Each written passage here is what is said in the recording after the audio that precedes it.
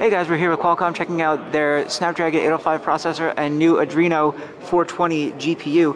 We're here with Manish and he's going to walk us through some of the uh, basic elements of, of the Adreno uh, in terms of how it performs with games. So you want to take it away? Yeah, sure. So Adreno 420 is a DirectX 11.2 specification hardware. So what it is, is it brings features like uh, tessellation and geometry shaders. So here you can see how dynamically uh, the scene is being tessellated and that's all happening on the GPU. So again, a high-end desktop and console feature now available on mobile.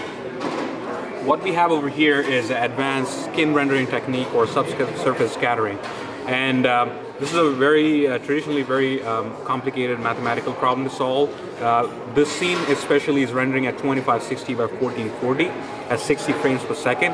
And it, this scene is actually downscaling it to get it to a 1080p TV. So this is a, a, a pretty new problem to have because you're losing some of these uh, details because you're downscaling to the TV.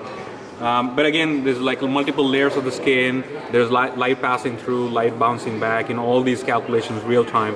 So I, if I go here, if I go here and if I move the light, you can see some of the light keep coming through the edge of the of the ear and if I move the light away you can see it going away so all these calculations are doing per pixel at 60 frames per second at 2560 by 1440 resolution that's very cool, and that's that's what we're checking out here with Snapdragon 805 and the Adreno 420 processor. Again, uh, this is Manish, and I'm Dan Howley with Laptop Mag, and we're here with Qualcomm.